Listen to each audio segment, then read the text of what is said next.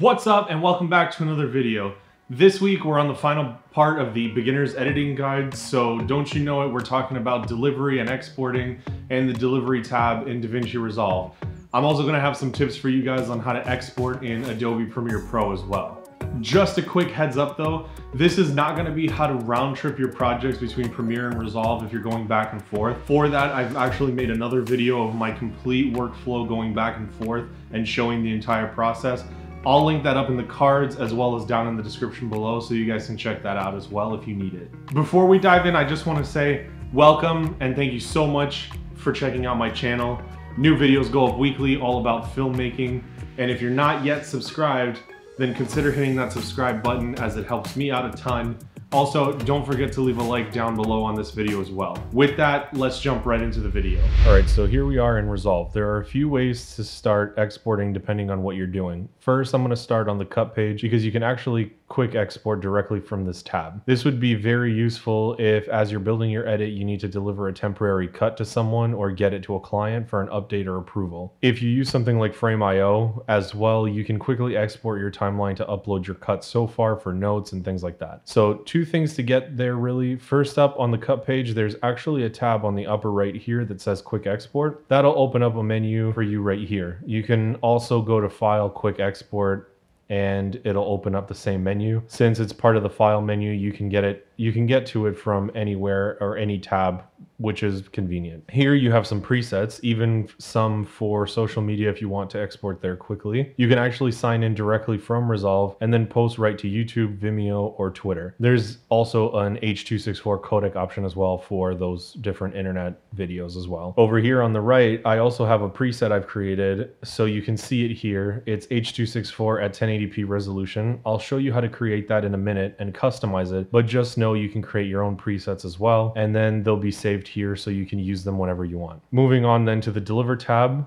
So you'll probably spend most of your time here when you're actually exporting. At the top here again, we have presets for all sorts of different things. Again, we have all the social medias here, an H.264 master preset, and then some XML options for exporting back to Premiere and Avid and so on. There's also an audio only if you need to reference track for something, for example. Now, if you want a little more control, you have a custom setting here and actually you can click on one of the presets too, and then click back to custom and it'll have the preset options loaded in here as well that you can then go ahead and tweak, or you can just start from scratch and put in all of your own settings. So First up, you can name your file and choose location. You then have the option of rendering a single clip, which would be like your final render, or individual clips if you're going back to Premiere, for example. That way you're still working with your individual cuts. Then you can pick how to export your video. If I'm creating a master file to archive, I'll probably create a QuickTime DNX HR HQ video if I'm just working with a regular prosumer camera, for example. If you're getting into shooting RAW, you need to preserve all of that, then you may want to up that to something like 4444. The file sizes get much bigger, but once again, that's usually overkill and you could actually be wasting space for no reason. As an editor or colorist though, you should already know what codec you'll need down the line if you need if you happen to need to pull that from an archive file. You can then pick your timeline resolution or go custom and define another resolution as well. I would suggest if you're upscaling your project, meaning that you're exporting in a larger resolution than your timeline, you should probably set that up in your project settings if you go under image scaling tab. That way you can specify sharpness and noise reduction if you need Typically, you don't want to be scaling up though. Because of the compression on YouTube, very rarely it could be worth upscaling your 1080p video to 4K, for example, and then uploading that. But even then, if your footage straight from camera doesn't have the bit rate or the bit depth, it won't make any difference. I digress though. If you're delivering for clients, make sure you get the specifications from them and know exactly what's required. Just as an example, if we look it up here, uh, these are the deliverables you'll need if you're submitting to Netflix there are very specific requirements, so it can get a lot more complicated than simply just exporting a video for the internet. So back to delivery tab, you also have a quality section. For YouTube, look up max bit rates for uploading if you're trying to save space. I'd recommend making it slightly better than the supported bit rates just because of the compression. Or if space isn't a strict consideration, then you can just leave it at something like best if that's an option in the codec you're using. Jumping down a bit, you have the option to burn in metadata about color space. I usually leave mine to same as project. There's no reason I would burn in a different color space than what I'm actually exporting in for most of the projects that I do. Then you get some checkboxes. I'll highlight a, a few of them as they're kind of interesting in what they do. First, there's this use optimizer proxy media.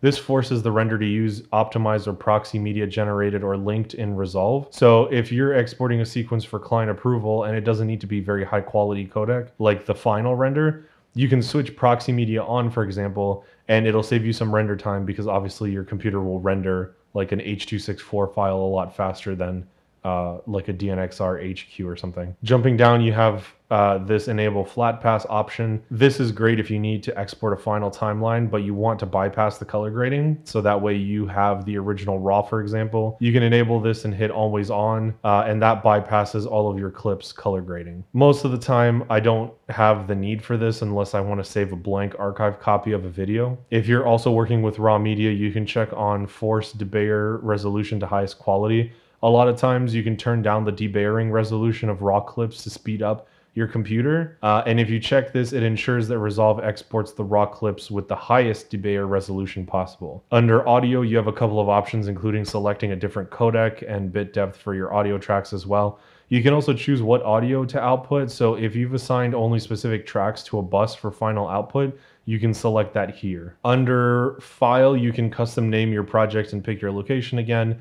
You also have the option of using unique file names, so Resolve can add additional digits to the beginning or the end of your file names to help identify them. If you're exporting in a codec that allows for it, uh, you can also actually add frame handles, and that's back on the video uh, section. Essentially, what that means is it'll add extra hidden frames at the beginning or end of the clips. So that way, if your project is going back to an editor, for example, to finalize, then they have some wiggle room to add transitions or roll edit points without worrying about the hard cutoff points where the cuts are in the clip. Under the file tab, It'll also give your current disk space being used on your computer when you select a file destination to save your project. It'll also tell you if you have enough space based on your export settings after you export. If you don't have enough space, then your render will fail. You can then add your project to the render queue. If you want to export multiple versions, you can add all of them to the queue as well and then hit render all and it'll run through all of them at once. Last cool thing I'll leave you with is uh, if you want to create a preset, you can come up to the three dots up here and hit save as new preset and then just name it. It'll be added to your little preset folder up here. And you can click on the three dots again and go to quick exports and check your preset. Just make sure it's checked. So now when you go back to the cut page, for example, and then hit quick export, your preset is right there and ready to use. This is useful if you find yourself going back to one particular export preset and you just want to get to it fast. With Adobe Premiere Pro, the export settings are mainly the same. You'll just go to File, Export Media, and then a dialog box will pop up with your settings, same as Resolve. It's a little more beginner friendly as I feel like it doesn't give you all of the little minute little details to choose like in Resolve, so I won't spend too much time going over it. Most options are actually called the same thing or something very similar as well, so it's pretty easy to navigate around. Under video encoding settings, just make sure hardware encoding is also enabled. If you have a decent graphics card, that way it'll speed up your renders. All right, so that's actually it for this video. That gives you a good beginner idea of your export settings and what you're gonna need to get your projects out there. It's pretty easy, and most of the time your export settings are also gonna match your timeline and project settings, so it's not that hard to kind of get a grasp of what everything is. We went through a couple more advanced things as well. You likely won't be using though unless you actually have a reason to and you know that you need to be using those things. So that being said, that wraps up our beginner series for now. Hopefully you learned something useful, and if you did, make sure you're subscribed to the channel for more videos like this, and also leave a like down below as well. Comment down below and let me know what you guys learned and what your ideas are for future videos as well. Hopefully this series helped you guys out. Remember there's three other parts, I think, besides this one that you can go check out as well. I'll link those and create a playlist as well so you guys can refer back to these. Until next time, though, go out there and create something then.